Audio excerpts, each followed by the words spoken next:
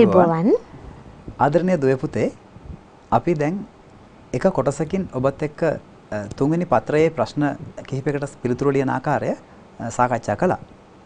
මෙතෙන් පටන් අපි පටන් මෙතෙන් පටන් අපි ආරම්භ කරන්නේ ඊළඟ ප්‍රශ්න කිහිපයට අපි කොහොමද කාල කළමනාකරණය යුතුව පිළිතුරු සපයලා අපි වැඩි ලකුණකට ප්‍රවේශ වෙන්නේ කියන කාරණාව පිළිබඳව. එහෙමනම් මේ ප්‍රශ්නයට අංශ දෙකක් යටතේ අපි උදාහරණ දෙක බැගින් සපයමින් පිළිතුරු සැපයුවා. අපි දැන් ඊට පස්සේ සූදානම් වෙනවා ඊළඟ කොටසට. නොහොත් කියලා අපිට තවත් කොටසක් දීලා තිබෙනවා. තුන්වෙනි ප්‍රශ්නේ ඊළඟ කොටස. තුන්වෙනි ප්‍රශ්නේ දෙවෙනි කොටසට අපි එහෙනම් ඒ ප්‍රශ්නෙට ගිහිල්ලා බලමු කොහොමද කාලය කළමනාකරණය කරගෙන කොහොමද අපි මේ ප්‍රශ්නෙට පිළිතුරු ලියන්න කියලා. බලන්න ඒක උපුටාගෙන තිබෙන්නේ ඒත් සාහිත්‍ය සංග්‍රහය කොටසින්. ඔව්. එකම තැනැත්තෙකු අවස්ථා දෙකකදී වෙනස්ව හැසිරෙන ආකාරය. අඟුලිමාල සොරු හා අඟුලිමාල තෙරුන්ගේ චරිත මගින් පිළිබිඹු වේ. නිර්දිෂ්ට පාඩම ඇසුරෙන් උදාහරණ දෙක බැගින් දක්වමින් මේ අදහස මේ අදහස විස්තර කරන්න කියලා තියෙනවා. ඉස්සෙල්ලා අපිට අවස්ථාව ලැබුණා ගුරුතුමනි චරිත කිහිපයකින් අංග ලක්ෂණ හඳුනා ගන්න. එතකොට මා එතනදී සඳහන් කළා දෙවියන් සහ යක්ෂයන් දෙන්නා මෙන්නේ අපි තුල. කළු සහ සුදු චරිත දෙකම තියෙන්නේ අපි තුල. කළු චරිතය ටිකක් වැඩිපුර ඉස්මතු වෙනවා නම් අපි දකිනවා ඔහු නරක කෙනෙක් විදිහට. සුදු චරිතය තවදුරටත් වැඩිපුර ඉස්මතු වෙනවා නම් අපි දකිනවා ඔහු හොඳ මිනිසෙක් විදිහට. එහෙමනම් අඟුලිමාල අහිංසක මේ කියන පුද්ගල දෙන්නම ඉන්නේ එකම පුද්ගලයෙක් තුල.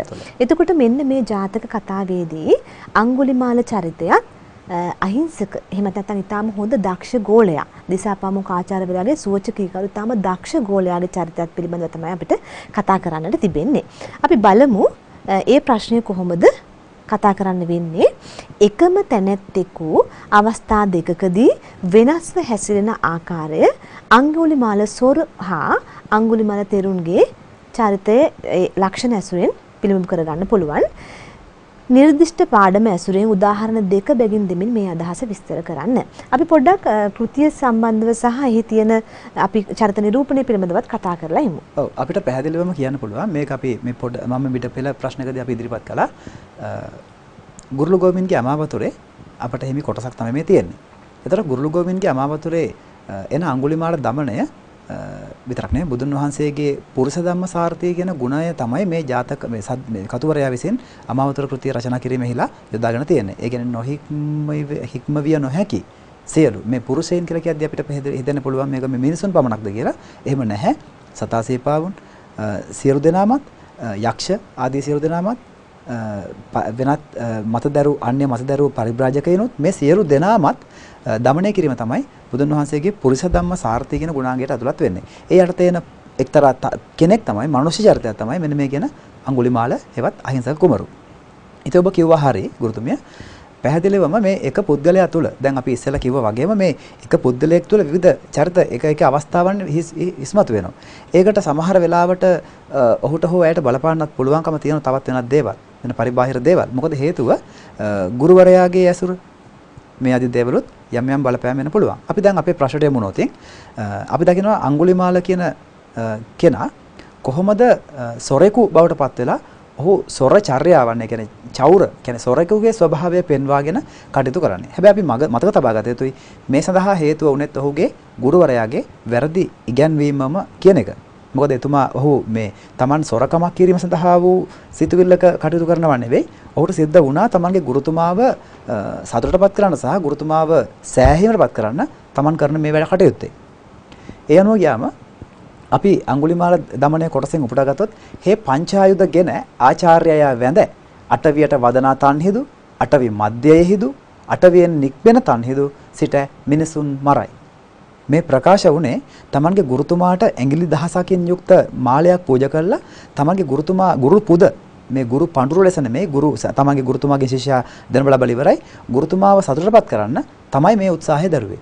ඒතර ඔහු සිද්ධ වුණා අටවිය කිව්වේ මේ කැලෑව මහා ඝන කැලෑවේ ආරම්භක ස්ථානය නැවත වතාවක් මැදට ගිහිල්ලා තවත් අවස්ථාවකදී කැලෑවේ කෙළවරට ගිහිල්ලා ඔහු කලේ මිනිසුන් මොකද මිනිසෙකුගේ ඇඟිල්ලක් කපා ගන්න නිකම්ම බෑ.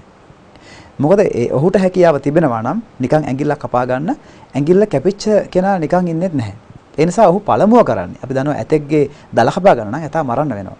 ඒ වගේ ඔහු ඇඟිල්ලක් කපා ගන්න මිනිසෙක්ගේ පස්සේ එලවගෙන ගිහින් ඇඟිල්ලක් විතරක් කපා ගන්නව නෙවෙයි පළමුව මිනිසයා ඝාතනය කළා හෝ ඝාතනය නොකලත් ඔහුට නැගිටින්න බැරි විදිහට පහර දීලා වුණ ඔහුගෙන් ඇඟිල්ල කපා ගන්න. ඒ නිසා ඔහු ඒ දේ කළා.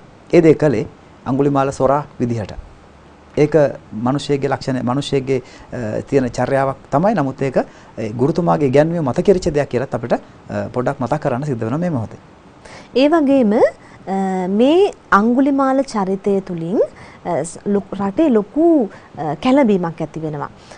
හැම වෙලේම සාමාන්‍ය මිනිස්සුන්ගේ තියෙන චර්යාවන්ට මේ අඟුලිමාල චරිතය ලොකු බලපෑමක් එල්ල කරනවා. මිනිස්සුන්ට නිදහස් වෙලාවක කැමති විදිහකට හැසිරෙන්න බෑ. ගෙවල් ඇතුළටම වෙලා ඉන්න සිද්ධ වෙනවා. මේක අවසානයේදී රාජ්‍ය සමස්ත රාජ්‍යම කැළඹීමක් ඇති කරන රජතුමා දක්වාම යන ප්‍රශ්නයක් බවට පත් වෙනවා. එතකොට මෙන්න මෙතනදී මේ සාමාන්‍ය ජනතාව අතර වෙන කැළඹීම කොහොමද මේ කතුවරයා දක්වන්නේ? ඔව් කතුවරයා මේ බව දක්වනවා රටවැසියන් මරණ බයට පත් වෙනවානේ. ඒ මරණ බයට පත් වීමත් එක්ක උපුටා ගැනීමක් කරනවා මෙන්න මේ විදිහට. හේ හැම අරණ්‍යයෙහි හසර නැති කෙලේ. දර පලා සඳහා වල් යන්නාහු නැති. රෑ ගමට වැද පයින් පැහැර දොර ගලවා පියා එහි හොතුවන් මරා පියා එකෙක දෙකෙකයි ගැනගෙන යයි. දැන් මේ මේ පැහැදිලිව පේනවනේ. මෙයා වනාන්තරයට වෙලා හිටියා වනාන්තරයේ මුලැමැදාක තැන්වල හිටියා. දැන් වනාන්තරය තුලට එන කෙනෙක් නැහැ. මොකද ඒ තරම්ම මිනිසුන්ට මේ කැලෑව කියන තැන භයානක තැනක් වෙලා අඟුලිමාල අරක් ගත්ත මහා මේ ඔහුගේ වාසභවන බවටපත් වෙලා. මිනිස්සු එතනින් පස්සේ තමන්ගේ අවශ්‍යතා සඳහා කැලෑවට ගිහලා දර ටික කඩාගත්තේ නැහැ. පලාකුල ටික කඩාගත්තේ නැහැ. සාමාන්‍ය දිනචර්යාව මිනිසුගේ දෛනික ජීවිතේ පවා අඩපණ වුණා. අඩපණ වෙන තත්වයක් තුල අඟුල් අඟුලිමාලට තේරෙනවා මිනිස්සු කැලෑවට එන්නේ නැහැ. ඒ නිසා කෙසේ හෝ ද ඇඟිලි දහසක් සම්පූර්ණ කරලා තියෙදුනේ. ඒ නිසා ඔහු කළේ මොකද්ද? මිනිසුන් දවල් කාලේ කොහේ හරි මහන්සි වෙලා රාත්‍රී කාලේ ගෙදර නිදා ගන්නවා නම් නිදා ගන්න මිනිසෙකුගේ ඇඟිල්ලක් කපා ගැනීම පහසුයි. එහෙම හිතලා තමයි ඔහු එන්නේ කැලෑවට එන්නේ නැති නිසා රැයට ගමට ඇවිල්ලා දොරවල් වලට පයින් ගහලා කඩලා දාලා මේ දොරවල් කඩලා දැම්මට පස්සේ ගිය ඇතුළට පැනලා මිනිසුන් මරලා ගණන් කරන් ගණන් කරන් ඔවුන්ගේ ඇඟිලිත් අරගෙන තමයි මේ අඟුලිමාලේ යන්නේ. ඉතින් මේමත් මිනිසු ඝාතනය කළා ඔහු බලාපොරොත්තු වුණේ ගුරුතුමාට සත්කාර කිරීම. හොඳයි. වැරදි ඉගැන්වීම්, වැරදි ආදර්ශයන් සහ කේලම් මේ වගේ අපි සමාජයෙන් පිටු දකින දේවල් නිසා තමයි අඟුලිමාල චරිතය අහිංසක චරිතය අඟුලිමාල බවට පත්වන්නේ. එහෙමනම් දරුවනේ නිවැරදි මඟ පින්වීම, නිවැරදි ආදර්ශය සහ ඒ සඳහා අවශ්‍ය කරන සියලු දේවල් ලැබුණා කාගෙන්ද? බුදුරජාණන් වහන්සේගෙන් අපේ මේ අඟුලිමාල චරිතයට. ඊට පස්සේ අපි දකිනවා අඟුලිමාල තෙරුන් වහන්සේ. අපි ඔබ දන්නවා දැනටත් අඟුලිමාල පිරිත කියලා කියන්නේ ගර්භණී කාන්තාවන්ගේ ප්‍රසූති වේදනාව අවම වෙන්න ඒ සඳහා පහසුකම් හුඟක් වෙලාවට වේදනාව දුරු වෙන පිරිතක් කියලා අපි සාමාන්‍යයෙන් පිළිගන්නවා. එහෙමනම් මේ තරම් වෙනස් පුද්ගලික බවට පත් වෙන්නට අඟුලිමාල චරිතයට හැකියුනේ කොහොමද? මේ සඳහා බුදුහාමුදුරුවෝ කොහොමද මැදිහත් උනේ? එතකොට අවසානයේදී රජතුමා දේවරම් වෙහෙරට යනකොට අඟුලිමාල රහතන් වහන්සේ ඉන්නවා. එතකොට කොහොමද අඟුලිමාල කියන පුද්ගලයා පිළිබඳව බුදුහාමුදුරුවෝ රජතුමාට හඳුන්වලා දෙන්නේ. එහෙමනම් අපි කතා කරමු ගුරුතුමනි අඟුලිමාල චරිතය ඊට පස්සේ අඟුලිමාල තෙරුන් වහන්සේ වුණාට පස්සේ කොහොමද වෙනස් වෙන්නේ කියන ඒ ලක්ෂණ ටික අපි සාකච්ඡා කරමු. ඇත්තම කිව්වොත් බුදුන් වහන්සේ මුණ ගැහිම තමයි අඟුලිමාලගේ ජීවිතය සැබෑ ලෙසම හැරවුම් ලක්ෂයක් බවට පත් වෙන අවස්ථාව වෙන්නේ. මොකද අපි දකිනවා බුදුන් දැන් අඟුලිමාල හිතාගෙන ඉන්නවා Taman තමයි ගුරුතුමාගේ හොඳම ගෝලයා. අපි ඒක දන්නවා. අනිත් ගෝලනුත් ඒක දන්නවා. දැන් බුදුන් වහන්සේ මුණ ගැහෙන්නට පෙර ආතුව අඟුලිමාල හිතාගෙන ඉන්නේ Taman තමයි ඊටාම ජයග්‍රාහී පුද්ගලයා තමන් තරම් ශක්තිවන්තයෙක් තමන් තරම් ඥානවන්තයෙක් තමන් තරම් දක්ෂයෙක් තවත් නැහැ කියන එක. පැහැදිලිවම ඔහු එක පැත්තකින් මොකද ශිෂ්‍යයෙකු තුළ තිබිය යුතු ගුණාංගයක් තමයි තමන් ගැන අභිමානය. ඒක අධිමානයක් හෝ අවමානයක් නොවි අභිමානයක් වීම ඕනම කෙනෙක්ගේ යහපත කෙරෙහි බලපානවා. නමුත් අඟුලිමාල මෙහි මොහොතේ දැන හෝ පැහැදිලිව නොදැන නොදැන කරන කටයුත්ත නම් ඒතරම් සාධාරණ නැහැ. නමුත් බුදුන් වහන්සේගෙන් මේ අඟුලිමාල කියන සොරාට ලැබෙන මානසිකමය බලපෑම ඉතා ප්‍රබලයි. ඔබට පේනවා ඇති මේ උපුටා ගැනීම. එතකොට වුවත් මේ මහාන එකලාව මා අභිභවමින් මෙන් එයි. මේ මහාන වූ මැරුව මැනවයි. කඩු පළඟගෙන දුණු හියවරු බැඳ බුදුන් පස් පස් ලොහ බඳවමින් යයි. නමුත් මේ කාර්යය ඔහු කළාට ඔහුට මේ ඉෂ්ට කරගන්න වෙන්නේ නැහැ. අපි තව ඉදිරිය ඔබට මතක ඇති. ඔහු පසුපස යද්දී බුදුන් වහන්සේ තවත් ඈතට යනවා. බුදුන් වහන්සේ මහා විහාර විශාල තැනිතලා පොළවක මැදින් දෙද්දී අඟුලිමාල කෙළවර ඉන්නවා. අඟුලිමාල දුවගෙන යනවා. ඔහු මැදට ගියාට පස්සේ බුදුන් වහන්සේ කෙළවර ඉන්නවා. දැන් ළඟ ළඟ වගේ පේනවා. බුදුන් වහන්සේ යම්කිසි ආකාරයක වලගොඩලි මතු කරනවා. මේ වගේ දේවල් ඇති කරමින් මේ බුදුන් වහන්සේ විසින් මේ මොහොතේ ඒකයි මම කිව්වෙත් මීට පෙර මේ චරිතය චරිතයේ හැරවුම් ලක්ෂ්‍ය බවට පත් වෙන බුදුන් වහන්සේ මුණ ගැහිම. අනතුරුව තමයි ඇත්තටම කිව්වොත් අඟුලිමාල තෙරුන් කියන කෙනෙක් අපිට මුණ ගැහෙන්න මේ බුදුන් වහන්සේගේ මඟ පෙන්වීම වඩාත් සාර්ථකව ලැබෙන්නේ. මිනිසුන් 999 දෙනෙක් මරලා ආනන්තරී පාප කර්මයකට සූදානම් වෙන අඟුලිමාල සොරා. දැන් බලමු අපි අ, අවශ්‍යම අවස්ථාවේදී තමයි. මොකද අනන්දරේ පාප කර්මයක් කළාට පස්සේ කිසි දවසකින් අත්මිදීමේ හැකියාවක් නැහැ. ඒ නිසා තමයි බුදුරජාණන් වහන්සේ අවශ්‍යම අවස්ථාවේදී වැඩිහත් වෙන්නේ. එතකොට අඟුලිමාල තෙරුන් කොහොමද අඟුලිමාල සොරා කොහොමද দমনය කරගන්නේ? ඊට පස්සේ අඟුලිමාල තෙරුන්ව කොහොමද මේ චරිතය ලස්සනට හැඩගස්වාගෙන ඊටාම සංසුන් නිවුණු රහතන් වහන්සේ කෙනෙක් බවට පත් කරන්නේ. බලන්න මේ සඳහා බුදුරජාණන් වහන්සේ මොන වගේ උපක්‍රමයක්ද පාවිච්චි කරන්නේ. ඊට පස්සේ අ, අපි දකිනවා ඔබට මං හිතන්නේ චිත්‍රපටයක් වගේ මොකද මේක අමාවතුරේදී අ, මං හිතන්නේ අර සංස්කරණය පිළිබඳව මේ හොඳ සාක්ෂි සපයනවා. මොකද අ, අඟුලිමාල සහ අ, බුදුරජාණන් වහන්සේගේ අතර වෙන ඒ නොනවතින ගමන අඟුලිමාල දුවනවා අ, බුදුරජාණන් වහන්සේ සාමාන්‍ය ගමනින් වැඩම කරනවා. නමුත් අඟුලිමාලට බුදුරජාණන් වහන්සේ අල්ලා ගන්නට බෑ. මේක ඉතාම ලස්සන සිනමා පටයක් වගේ අපේ සිත්වලම ඇවෙනවා. ඒ තරම් ලස්සනට අමවතර කතුවරයා භාෂාව පාවිච්චි කරනවා මේ අවස්ථාව දක්වන්න. කොහොම හරි අඟුලිමාල චරිතය দমনය කරන්න හැකි වෙනවා බුදුරජාණන් වහන්සේගේ තියෙන පුරුෂ ධම්මසාරතේ ගුණාංගය නිසා. ඊට පස්සේ අර රජතුමා ඉතාම බියෙන් වෙවුලපු අඟුලිමාල සොරා අඟුලිමාල තෙරුන් බවට පත් වෙනවා. බලන්න දරුවනේ මම ඔබට මුලින් සඳහන් කරපු අංගුලිමාල පිරිත. මේ පිරිත සජ්ජායන කිරීම ආරම්භ වන්නේ එක දවසකදී අංගුලිමාල තෙරුන් වහන්සේ පිණුසිඟා වන්න අවස්ථාවකදී දරු ගැබ හරස් වීම නිසා අපි ඒක හඳුනාගන්නවා මුඩ ගර්භ කියලා. දරු ගැබ හරස් වීම නිසා දරු ප්‍රසූතිය ඊටාම අපහසු වෙනවා. මොකද මේ ලෝකේ තියෙන ඊටාම ප්‍රබලම වේදනාව තමයි දරු ප්‍රසූතියක් කියලා කියන්නේ. එතකොට මේ වෙලාවේදී ඊටාම වේදනාවෙන් සිටින කාන්තාවකට ඒ වේදනාව සංසිඳවාලන්න තමයි අඟුලිමාල පිරිත සජ්ජායන කරන්නේ. බලමු අපි මේ උදාහරණය කොහොමද අපි සපයන්නේ කියලා. එසස් තෙපුල් හා සමග ඩබාරයෙන් ඩබරායෙන් ඩබරායෙන් ගුළු දියත් සේන් දරු නික්මිනි. දිපීත් ඔවුන්ට සෙත්වි. ඊටාම වේදනාවෙන් ඉන්න වෙලාවේදී මේ අඟුලිමාල පිරිත එහෙමත් නැත්නම් සත්‍යක්‍රියා කරලා සෙත් වඩපු නිසා තමයි ඒ කාන්තාවට ඩබරායෙන් ගුඩු ගුරු දියක් සේ. ගුළු දියක් ඒක මම ඒක පැහැදිලි කරමු. එසස් තෙපුල් හා සමග ඩබරායෙන් ගුළු දියක් සේන් දරුණෙක් මෙනි දිපිත් මවුනට සෙත් වේ. ඊටාම පැහැදිලි දරුවනේ සත්‍යක්‍රියාකට සෙත් වැඩුවට පස්සේ මොකද සිද්ධ වෙන්නේ? ඒ සස් තෙපුල් හා ඒ සත්‍යක්‍රියා බලය සමගම මොකද්ද වෙන්නේ? ඒ අඟුලිමාල තෙරුන් වහන්සේගේ සත්‍යක්‍රියා බලය යහපතක්ම වේවායයි සිතුවිල්ල. නිසාම ඩබරායෙන් ගුළු දියක් සේන්. ඩබරාය කියලා කියන්නේ අපි කියනවා කලය සාමාන්‍යයෙන් කටය කට ලොකු කලයක්. කට ලොකු කලයකින් ගුළු දියක් සේන් ගලා හැලුණා වූ ජලය වගේ ඊටාම පහසුවෙන් දරුවා නික්මුණා. මව් කුසින් දරුවා මෙලොවට බිහි වුණා. දිපිත් මවුනට සෙත් වී. දිපිත් කියලා කිව්වේ මව් පුතා මව පුතා කියන දෙදෙනාට. දිපිත් කියලා කිව්වේ පිත් පුතා මව් දෙදෙන දි කිව්වේ දෙදෙනා පිත් පුතා මව් මවුනට. ඒතර අම්මා පුතා කියන දෙදෙනාටම සෙතක් වුණා. ඉතින් බලන්න කතුවරගේ භාෂාවත් අපි එතනදී අ, අවධාරණය කළ යුතුයි. කෙටි වැකි භාවිතය කෙටි වචන භාවිතය ඊටාම නිර්මාණශීලී ලෙස යොදා ගන්නවා. ඒ විතරක් නෙමෙයි දැන් බලන්න හිංසාවෙන් වැළකීලා ශාන්ති මාර්ගයට කතු යොමු වෙච්ච ආකාරය අඟුලිමාලයන් සාමාන්‍ය සමාජය පිළිගන්නේ නැහැ ගුරුතුමනි මේ අඟුලිමාල කියන මහා මංකොල්ලකරුවා මිනිමරුවා මේ තරම් හොඳ කෙනෙක් බවට පත් වෙලා කියලා. ඒ නිසා රජතුමාත් බියපත් වෙනවා අඟුලිමාල ඉදිරියට යන්නට. බලන්න මේ වෙලාවේදී කොහොමද බුදුරජාණන් වහන්සේ මේ අඟුලිමාලව හඳුන්වලා දෙන්නේ කියලා. නොබව මහරජ නොබව මහරජ මේ දැන් කිහිඹියෙකුදු දිව නොගලවයි. මුහු කෙරෙන් තට භය නැති. ඔව්. ඊටාම පැහැදිලි. දැන් බුදුන් වහන්සේ ගාවට බුදුන් වහන්සේ ළඟට රජතුමා යන්නේ ජනතාවගේ පෙරත්තේ මත. මොකද මහාම මහා රටේම මහා ජනතාව වෙලා කියනවා රජතුමනි අපට නම් බෑ ඔබතුමා ගිහිල්ලා මේ මේ මේ අඟුලිමාලව මරන්න. නමුත් දැන් අඟුලිමාලට මුහුණ දෙන්න රජතුමාට යන්නත් බෑ.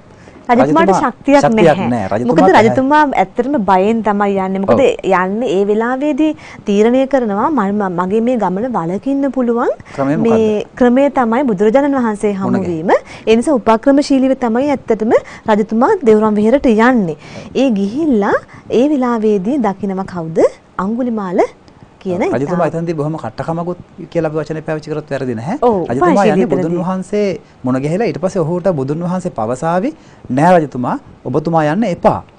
එතකොට ජනතාව ඉස්සරහා එහෙම කිව්වම බුදුන් වහන්සේ වගේ කෙනෙක් රජතුමාට පුළුවන් මම යන්න ගියේ බුදුහාමුදුරුවෝ කිව්ව නිසා මම යන්නේ නැහැ.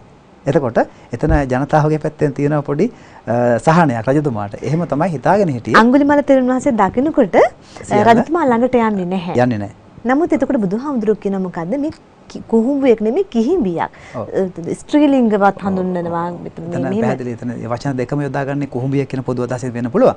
කියනවා කුහුඹියෙකුටවත් කිහිඹියකදු කියලා කිව්වට කුහුඹියක් නේ කුඩා සතෙක් කියන අදහස තමයි මෙතන මේ මතු කරන්නේ කතුවරයා. කුහුඹියෙක්ගේවත් ජීවිතේ ගලවන්නේ يعني මරන්නේ නැහැ. ජීවි ගල් නොගලවයි කියලා කිව්වේ ජීවිතේ ගලව ගන්නේ නැහැ. එතන අපි අවධාරණය කළ යුතුයි. නොගලවයි කියන්නේ අපි ගැලවීමේ හමුදාව කියන ගලවා ගැනීම. මෙතන නොගලවයි කියලා කියන්නේ ජීවිතය ගන්නෙ නැහැ කියන එක. ඒ කතුවරගේ භාෂා භාවිතයේ සුවිශේෂතාවක්. ඒක අපි අවධාරණය කළ යුතුයි. දරුවන් වරදවා තේරුම් ගන්න පුළුවන්. ඒ නිසා කියනවා මුහු කෙරෙහෙන තට බය නැති. ඒ කියන්නේ ඔබ මේ කෙරෙහි බයක් තියාගන්නට එපා. ඒ නිසා හරිම නිර්මාණශීලී භාෂාවක් මේ අපිට මේ එක ප්‍රශ්නයක් වුණත් වෙනම කතා කරන්න පුළුවන්. ගොඩක් වෙලාවක්. හොඳයි. එහෙනම් අපි සාකච්ඡා කළා අ, අංගුලිමාල චරිතය අංගුලිමාල චරිතය කොහොමද අ, සොරාගේ චරිතය තුලින් කොහොමද අපි අ, මේ අංගුලිමාල චරිතය විග්‍රහ කරගන්නේ සොරා කියන අ, නාමය දීලා තියෙන කාලෙදී. ඒ වගේම ඊට පස්සේ තෙරුන් වහන්සේ අ, කියන චරිතය තුලදී අපි කොහොමද මේ එකම චරිතය අ, අවස්ථා දෙකකදී කොහොමද හැසිරෙන්නේ කියන එක උදාහරණ සහිතව කතා කරා. මම හිතන්නේ මේ උදාහරණ තමයි ඒ සඳහා ගැළපෙනම උදාහරණ. ඔබට ඒවා ඔබේ පිළිතුරු සඳහා යොදා ගන්නට පුළුවන්. ඔබට මතක නම් මීට පෙර අපි අ, පෙ- පෙර වසරවලදී අපි සාකච්ඡා කරපු බොහෝ කරුණු ඒ ආකාරයෙන්ම ප්‍රශ්න පත්‍ර වලට ආවා. ඒ නිසා ඔබ මෙවැනි දේවල් ගැන හොඳ අවධානයක් යොමු කරන්න එහෙමනම් අපි තුන්වෙනි ප්‍රශ්නය හොඳින් සාකච්ඡා කරා අපිට ඊළඟට අපිට හැකියාව ලැබෙනවා අපේ ඊළඟ ප්‍රශ්නයට යන්නට ගුරුතුමනි මේ තමයි හතරවෙනි ප්‍රශ්නය. මේ හතරවෙනි ප්‍රශ්නයේදී අපිට අවස්ථාව ලැබෙනවා අර කිව්ව ආකාරයෙන්ම කොටස් දෙකකට උත්තර ලියන්න. එතකොට මෙතනදීත් අපිට අපේ තියෙන තාර්කික හැකියාව, අපේ විචාරශීලී හැකියාව, අපේ පරිකල්පන ශක්තිය මේ සියල්ල මැන ගන්නට පුළුවන්. මෙහිදී අපිට දැක ගන්නට පුළුවන් හතරේ පළවෙනි කොටස සිංහබහු නාට්‍ය ආශ්‍රයෙන් තමයි ලබාගෙන තිබෙන්නේ. අපි බලමු මේ ප්‍රශ්නය ගොඩ නැගලා තිබෙන්නේ කොහොමද කියලා. සිංහබහු නාට්‍ය මගින් ඉදිරිපත් කෙරෙන්නේ මව්පියන් තුළ දරුවන් කෙරෙහි වන අසීමිත දාරක ස්නේහයත් නව්‍යමය දිවි පෙවතක් වෙනුවෙන් දරුවන් තුළ පවත්නා අපේක්ෂාත් කියන කොටස් දෙක යටතේ. කොහොමද ගුරුතුමනි අපි මේ දෙක කතා කරන්නේ? සිංහබාහු නාට්‍ය ඔබ දන්නවා 1962 මහාචාර්ය ඉදිරියට සරච්චන්ද්‍රයන් විසින් රචනා කර නාට්‍යයක් දෘශ්‍ය කාව්‍යයක්. මේ නාට්‍යයේදී පැහැදිලිවම අපි දකින්න පුළුවන්කම තියෙනවා මේ પરම්පරා දෙකක් තියෙන්නේ. අපි කියනවා අර සාමාන්‍ය પરම්පරා ගැටුම නැත්නම් ඉංග්‍රීසියෙන් කියන ජෙනරේෂන් ગෑප් කියලා මේ විදිහේ දෙකක් අපි දකිනවා නාට්‍ය තුල මව්පියන් සහ දරුවන් කෙරෙහි නමුත් අර දරුවන්ට හැකියාව නැහැ නාට්‍ය ආරම්භෙදිම තියෙනවා දරු සෙනෙහස කියන එක කොහොමද දෙමව්පියන්ගේ ඇඟ මස් ලේන ආහාර තුල ගලා ඇතුළත් වෙලා තියෙන කියන එක. නමුත් දරුවන් තුල මෙවැනි ආකල්පයක් අ, ඇත්තෙන්ම කුඩා සංදියේ වැඩිලා නැති බව අපි දකිනවා, දන්නවා. ඒවා Taman දැනුමින් මුහු කරා යාමත් එක තමයි දරුවන්ගේ ඒ වෙනස වෙන්නේ. නමුත් අ, ම- මෙතන අපේ පාඩමේ ප්‍රශ්නට ආවොතින් මව්පියන් තුල දරුවන් කෙරෙහි වන අසීමිත දාරක ස්නේහය සහ අනිත් පැත්තෙන් දෙවෙනි ප්‍රශ්න කොටස නව්‍යමය දිවිපේතක් වෙනුවෙන් දරුවන් තුල පවත්නා අපේක්ෂා. අපි අ, පිළිතුරු පැත්තට යමු නොතින් දරුවන්ට ආදරයෙන් ඇමතීම. දැන් බලන්න ඔබ ඊටාම පැහැදිලි අ, මව පාඩමේ නාට්‍ය ආරම්භක හරියේදී අ, සිංහබාහු කුමාරයාට සහ අ, සිංහ සීවලි දෙදෙනාට සැකයක් උපදිනවා මේ ඇයි මේ මගේ අම්මා සහ අපි දෙදෙනා අයියා නගෝ දෙදෙනාත් අම්මත් මනුෂ්‍යකාන්ත මනුෂ්‍ය ද- මනුෂ්‍යයන් වීමත් තමගේ තාත්තා සිංහයෙකු ලෙස පෙනී යාමත් ප්‍රශ්නයක් වෙනවා. ඒ ප්‍රශ්නය පෙනී යාමත් එක්ක පුතා මවගෙන් නිතර ප්‍රශ්න අහනකොට අම්මා බොහොම ආදරණීය ලීලාවෙන් බොහොම හදවත ඇතුලේ තියෙන දාරක ස්නේහයෙන් අමතනවා. කොහොමද කියන්නේ? ප්‍රේමවන්ත දරුවෙනි මා හිඳිනු කන්‍යොමා. හ්ම්? මම ඇත්ත ඇති හැටියෙන් කියන්නම් පුතේ. මම ළඟ කන් යොමාගෙන ඉන්න. ඔබ පුංචි සංදියේ වැඩෙනකොට දැන් දරුවාට තුලත් යම් යම් ගැටුම් මානසිකමය ගැටුම් ඇති වෙනවා. අපි කියනවා මානසික වශයෙන් ඇති වෙන ගැටුමත් නාට්‍යයේ ප්‍රබල අවස්ථාවක්. ඉතින් අපේ මූලික අරමුණ වෙන්නේ මෙතනදී මව්පියන් තුළ දරුවන් කෙරෙහි තියෙන ආදරය දැක්වීම. මේකේ සුප්පා දේවි චරිතය ගත්තට පස්සේ ප්‍රේමවන්ත දරුවනි මා හිඳිනු කන්‍යෝම සියලු දේවල් රසමුසු බසින් අම්මා දරුවන්ට කියනවා. ඉතින් ඊට පස්සේ ඒ විතරක් නෙමෙයි පුතා කියනවා දරුවන්ගේ යහපත දෙසා අම්මා කටයුතු කරන ආකාරය. දැන් පුතා පුතා කියනවා නෑ ඔබ දෙදෙනා මාත් එක්ක එන්න ඕන. මේක ලොකු දිග නාට්‍ය කොටසක අවසානයේ මේ අවස්ථාව මම ගල්ලෙන බින්දලා යන අවස්ථාවේදී. ඒකට අවස්ථාවට සලසගන්නේ. මෙතන කියනවා දැන් මේ ගල්ලෙන බින්දිනට පෙර අම්මා පුතා එල්ලීමක් කරනවා ඔබ දෙදෙනා මාත් එක්ක එන්න යන්න ඕන යන්න එන්න ඕන. මට උරුම වූ දෙවිය මා සොයා යා යුතුය. මට මේ ලෙනේ ඉන්න බෑ ඒ නිසා මාත් එක්ක එන්න යන්න. අම්මා කියනවා පුතේ එහෙම කරන්න එපා. හැබැයි නංගිත් ඇත්තටම කිව්වොත් තාත්තට ගොඩක් ආදරේ අයියාගෙන් අහනවා අයියේ අපි ගියාම කොහොමද තාත්තා බත් ටිකක් උයාගෙන කන්නේ? උයලා දෙන්නේ ඉන්නේ අපි නේද අයියේ තාත්තට. අම්මයි නංගී තමයි තාත්තට උයලා දෙන්නේ. අනතුරුව නමුත් අන්තිමේදී දරුවා තීරණයක් ගන්නව නෑ. යායුත්තේ අපි දෙතුන්දෙනාම තුන්දෙනාම යායුතුයි. ඔබ දෙදෙනා ඉන්නේ නැත්නම් මම හරි යනවා. අන්තිමේ මොකද අම්මා කියන්නේ? නොකරන් එලෙසා පියතුමගේ අන ඉක්මවලා පුතුනේ නපුරයි වන්නේ මොකද්ද මේ අපට මහා විනාශයක් වෙයි පුතේ යන්න එපා. ඒ දරුවා කෙරෙහි හදවතේ තියෙන ආදරය නිසා තමයි අම්මා එහෙම කියන්නේ. මොකද එහෙම කියන්න හේතුවක් තියෙනවා. ගල්ලෙන බිඳ යාමෙන් තමන්ගේ පියාගෙන් හානි පැමිණේවි කියන අදහස නෙමෙයි මවගේ හිත ඇතුලේ ඒ වෙලාවේ ඇත්තේ. අම්මා කල්පනා කරනවා ගල්ලෙන බිඳගෙන එළියට ගියොතින් අපට පරිබාහිරින් එල්ල වෙන ප්‍රහාරයන්ට මුහුණ දෙන්න බැරි වෙයි. මොකද අපි මනුෂ්‍ය මනුෂ්‍ය දරුවන් සියලු දෙනාම. ඒ නිසා එතන පැහැදිලි අම්මාගේ හිත ඇතුලේ තියෙන දරුවන් කෙරෙහි තියෙන ආදරය. අපි හැම වෙලෙම දකිනවා බොහෝ විට මව්පියන් තීන්දුව తీරන ගන්න හැම වෙලෙම තමන්ගේ දරුවන්ගේ යහපත වෙනුවෙන්. මේ වෙලාවේදී සුප්පා දේවි කල්පනා කරනවා තමන්ගේ ස්වාමියාගේ ආදරය රැකගෙන වනය තුලට වෙලා ජීවත් වෙනවාද එහෙමත් නැත්නම් තමන්ගේ දරුවන්ට විවර වෙලා තියෙන ලෝකය නිර්මාණය කරගන්න ඒ සඳහා ගමන් කරන්නට ඒ මාර්ගයේ ඒ අවස්ථාව ගන්නවාද කියන එක. ඒ නිසා මෙතනදී සුප්පදේවි තීරණය කරනවා තමන්ගේ දරුවන්ගේ අනාගතය තමයි වඩා වැදගත්. මේක හැම කාලෙකදීම අපි දකිනවා හැම වෙලාවෙම අම්මා සහ තාත්තා තීන්දුව తీරන ගන්නේ ඔබේ අනාගතය වඩා හොඳ දෙයක් බවට පත් කිරීම සඳහා. ඔබට මේ වෙලාවේදී මම මතක් කළ යුතුයි සරච්චන්ද්‍රයන් කියලා කියන්නේ මණ්ඩමේ සිංහබහුව කියන නාට්‍ය තුලදී අපි දකිනවා මේතෙක් අප ආපු ඒ ගමන් මගේ යම්කිසි හැරවුම් ලක්ෂයක් අපි දකිනවා 1956 දී සහ 1960 දී. ඒතර මේ වසරවල් වලදී එතුමා මේ නාට්‍ය නිර්මාණය කරන්නේම මහා විශාල පරිශ්‍රණ ගණනාවකින් පස්සේ. අපේ රටේ විතරක් නෙමෙයි අපේ රටේ තිබෙන දේශීය කලාව හොඳින් අධ්‍යයනය කරනවා. ඒ වගේම ඉන්දියාවේ, ජපානයේ වගේ රටවල් වලට ගිහිල්ලා ඉතාම හොඳ ප්‍රබල පර්යේෂණ වලින් පස්සේ තමයි මේ නාට්‍ය නිර්මාණය කරන්නේ. ඒ නිසා නාට්‍ය තුළට මානුෂීය හැඟීම් ඉතාම සංවේදී ආකාරයෙන් මානව සම්බන්ධකම් මුසු කරන්නට එතුමාට එතුමාගේ තියෙන නිර්මාණශීලී හැකියාවට අපි දකිනවා මේ නාට්‍ය තුළ දේවා දකින්නට හැකියාව ලැබෙන බව. එහෙමනම් ඊට පස්සේ අපි තව වෙලාවකදී දකිනවා තමන්ගේ දරුවන් තමන්ගේ ආදරණීය භාර්යාව තමන්ව අතහැරලා ගිහිලා දැනගත්තට පස්සේ මොකද වෙන්නේ? මෙතනදී ගල්ලෙන බිඳලා තියෙනවා දකින්නවා. ඉස්සෙල්ලාම කවද මතක් වෙන්නේ? ගුරුතුමනි කාවද ඉස්සෙල්ලාම මතක් වෙන්නේ සිංහයාට? ඔව්. ඇත්තටම සිංහයා කියනවා මේ දැන් ඔහුගේ ප්‍රකාශය තුළ මතු කරන්නෙම මතක් වෙනවා කියන්නේ තමන් මේ වැඩේ කළා කියලා විශ්වාස කරන්නේ සිංහබාහු නිසා එක්වරම සිංහයා කියනවා සිංහබා සිංහබා කියලා. නමුත් ඊට පස්සේ ආයෙ කියනවා ඇයි සුදු දුවනිය නුඹවත් නොසිටියේ? තමන්ගේ දියණිය ඔහුට මතක් වෙනවා. එතනින් හඟවන්නේ නැහැ. Tamanගේ දුව තමයි ප්‍රබල කියන එක. නමුත් කාරණාවක් කියන්න තියෙනවා. විශේෂයෙන් ගත්තට පස්සේ પરම්පරා දෙකක පිය පුතු කියන චරිත දෙක ගත්තම පුතුගේ දක්ෂතා පිළිබඳව පියා අගය කරනවා. නමුත් පුතා තුල යම්කිසි කුකුසක් ඇති වෙන්න පුළුවන් ඒ ඉතින් අවබෝධය නැතිකමත් එක්ක වෙන්න පුළුවන් මෙතනදී ඒක ප්‍රබලව දකින්න පුළුවන්කම තියෙන එකම සාධකය තමයි පියා සිංහයෙකුසේ පෙනී යාමත් තමගේ දරුවා තමන්ට පේනවා සිංහබාහු කුමාරයට පේනවා තමන් මනුෂ්‍ය කුමාරයෙක් බව. සිංහබාහු හැම වෙලේම සිංහබාහුගේ තියෙන ලක්ෂණ ටික මම හිතන ගුරුතුමනි තමන්ගේ තාත්තගේ ලක්ෂණ ඒ තියෙන පෞරුෂයේ තියෙන මේ හැකියාවන් සියල්ල මොකද ගල්ලෙන අරින්න හැකියාවක් නැහැ සිංහබාහුව හැර වෙන කෙනෙකුට. නමුත් සිංහ සිංහයාට හැර වෙන කෙනෙකුට අරින්න හැකියාවක් නැහැ. නමුත් සිංහයාගේ පුතා තමයි සිංහබාහුව. සිංහබාහුව ඒ කියන්නේ සිංහයේ අත් දෙක තමයි ඔහුට තිබෙන්නේ. එතකොට ඒ නිසා ඔහුට හැකියාව ලැබෙනවා ගල්ලෙන බිඳලා ඒ තියෙන සම්මතයන් වෙනස් කරන්නට. මම හිතන්නේ මේ සම්මතය තමයි වෙනස් කරලා දාන්නේ. එතකොට මේ પરම්පරා දෙක අතර තියෙන ගැටුම තමයි ඉදිරිපත් කරන්නේ. එතකොට මෙතනදී හැම වෙලේම අපි දකිනවා පියා සහ පුතා අතර වන ගැටුම මොකද පියා හැම හැම වෙලේම දරුවා අ, පිරිමි දරුවෙක් අපේක්ෂා කරන තමන්ගේ පියා වගේ හැසිරෙන්න. පියාගේ තියෙන පෞරුෂයන් අත්පත් කර ගන්නට අපි ළමා මනෝවිද්‍යාව ගැන කතා කරනකොට අපි මේව දකිනවා. එතකොට එහෙමනම් ඒ උනාට හැම වෙලේම තමන්ගේ දරුවන්ගේ අනාගතය තමන්ගේ දරුවන්ගේ ආදරය නොමැතිව දෙමව්පියන් ජීවත් වෙන්න බෑ කියන එක මේ චරිතය තුලින් අපිට හඳුනා ගන්න.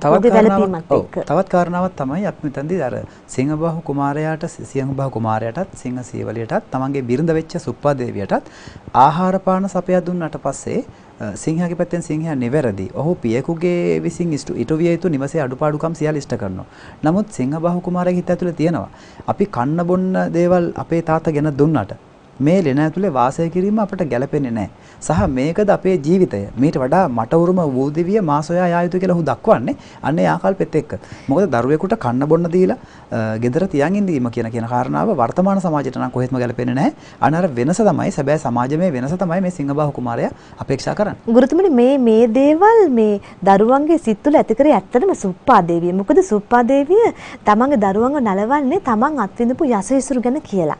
එතකොට මේ යසවිසුරු ගැන දකින පරිකල්පනය තමයි සුප්පා දේ තමන්ගේ සිංහ සීවලිය සහ සුන්- සිංහ බාහු කියන දරුවන්ගේ හිත තුළ මැවෙන්නේ. එතකොට සිංහ සීවලිය අර අපි කි- දකිනවා ඔහු උන් කවදාවත් අ, හොඳ රෙදිපිලි ඇඳලා තිබුණේ නැහැ. ඇන්දේ කැලේ තියෙන දේවල්, හම්පට්ට වගේ දේවල්. එතකොට අර කතාවල තියෙන සම්පූර්ණ පරිබාහිර දේවල්. මොකද ඔහු එහෙදි දකිනවා විල්ලුද වගේ ඇඳුම් ඇතිරිලි, කසී සලු මේවා ගැන තමයි අම්මා කතා කරන්නේ. මෙතන ලොකු ගැටුමක්. මෙතන ලොකු වෙනසක්. ඒ ගැටුම. තියෙන එක ඉතින් ඒක කිසිම ගැටලුවක් නෙමෙයි එවැනි ගැටුමක් ඇති වෙන්න. මොකද හේතුව සුප්පා දේවිය කුඩා කාලේ වංග රජ වංගදේශ රජතුමාගේ මහ රජතුමාගේ දියණිය නෙමෙයි. ඒ දියණිය සිංහයෙක් දැකලා මේ විවාහය තමන් තව- තවලම් කරුවන් හැරලා තොරතුරු දැන සොයාගෙන මේ සිංහයත් එක්ක විවාහ වෙනවා වනවාසයට එනවා.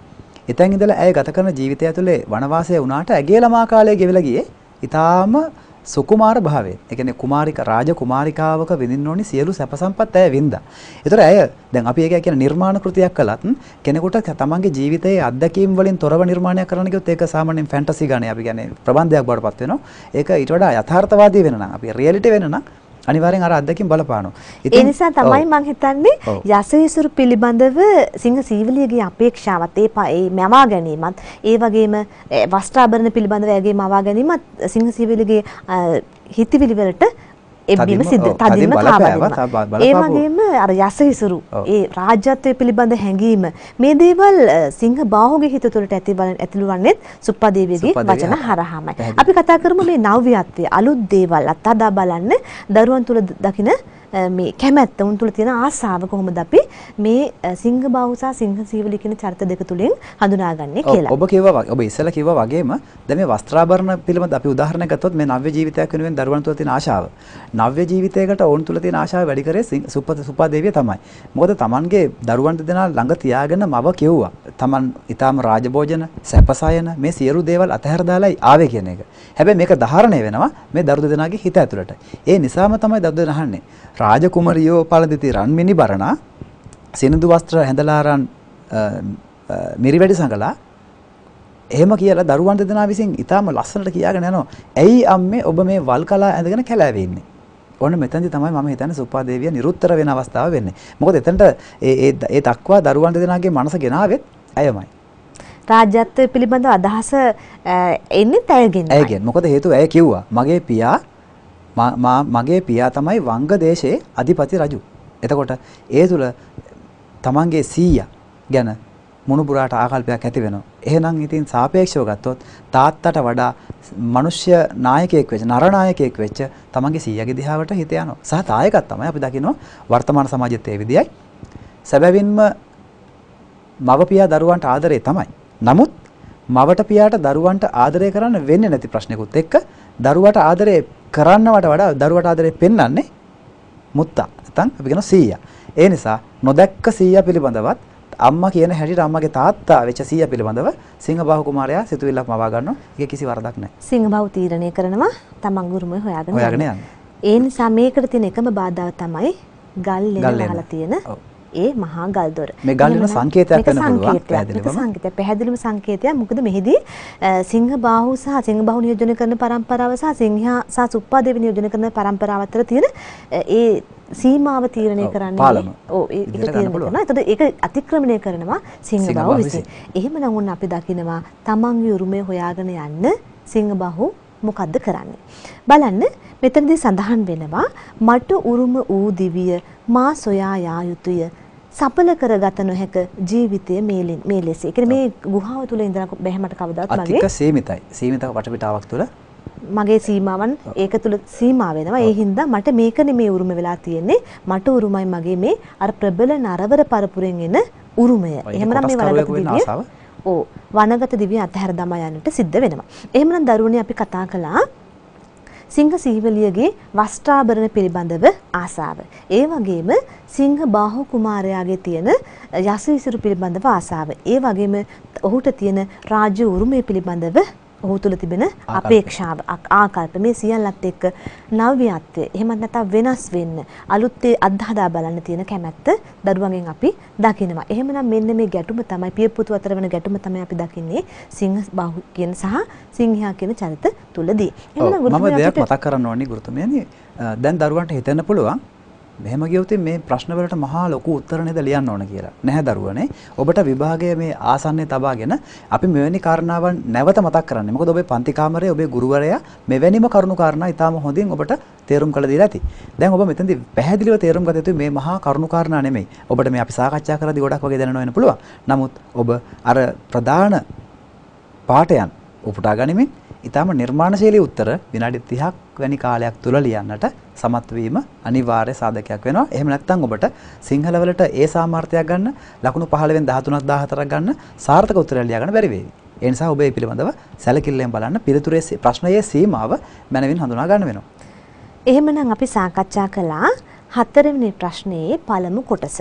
මෙතනදී අපි සිංහ බාහු නාට්‍ය ආශ්‍රයෙන් තමයි අපි ප්‍රශ්නය අහලා තිබෙන්නේ.